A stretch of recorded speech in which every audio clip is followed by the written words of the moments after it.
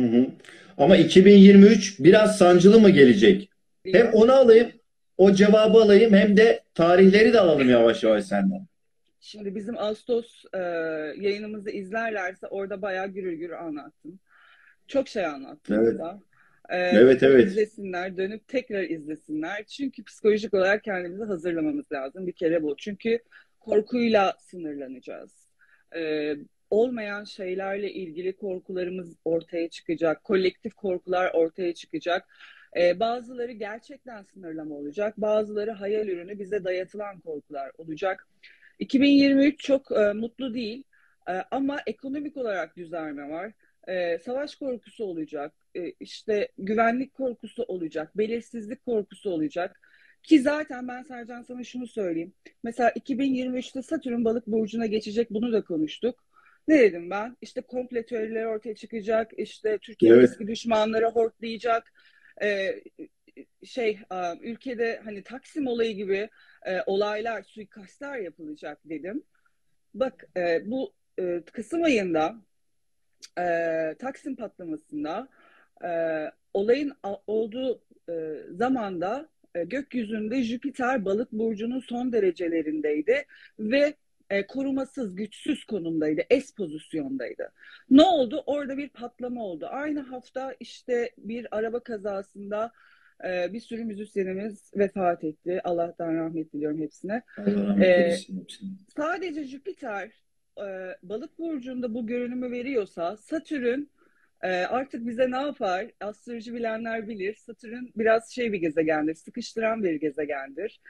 E, ve 2023'ün 2023'te Satürn'ün balık burcuna girmesi yine başka olayların 2026'da 2025'te başka olayları başlatacak, daha büyük olayları başlatacak bir tetik mekanizması da veriyor olacak. Dolayısıyla biraz kendimizi hazırlamalıyız. Ee, diğer sorduğun soruya gel- gelecek olursak deprem için tarihler. Evet. Ee, en yakın tarih e, Şubat'ın başı Dolunay'la beraber çünkü 5 Şubat, e, 6 Şubat Dolunay'ıyla beraber e, bu Kasım'da yaşadığımız deprem tetikleniyor. Buna benzer 6 şiddetinde, 5,5 şiddetinde e, ya da daha az e, bir sarsıntı yaşayabiliriz. Yine bizi korkutacak, hoplatacak. Onun dışında e, Mart sonu, Nisan ve Mayıs ayları çok kritik 2023'te. E, gezegen geçişleri var. Satürn e, burç değiştirecek, balık burcuna geçecek, Plüto oğlaktan kova burcuna geçecek.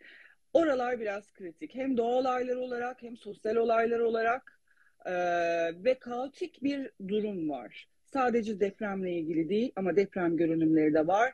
Ve yine bunu söylemiştim. 7 şiddetinde bir deprem olabilir. Lütfen herkes e, kendini, e, psikolojisini, evini, e, yaşam koşullarını ona göre hazırlasın, tedbirlerini alsın. Yani bana bir şey olmaz, deprem bitti gitti demesin. Deprem ülkesinde yaşıyoruz. Göksel olarak da bu tarihler bize veriliyor ve bir de 2025 Mart gibi önemli bir tarihimiz var. Tabii o ona daha çok var büyük bir deprem için.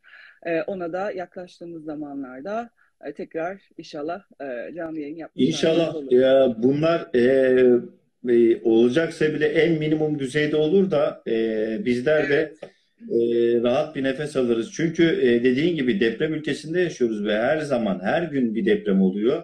E, irili ufaklı e, küçük büyük depremler oluyor. Bunları hissetmemiz e, kimi zaman e, zor oluyor ama keşke hep aynı şekilde küçük küçük depremler olsa da e, biz de rahat bir nefes alabilsek.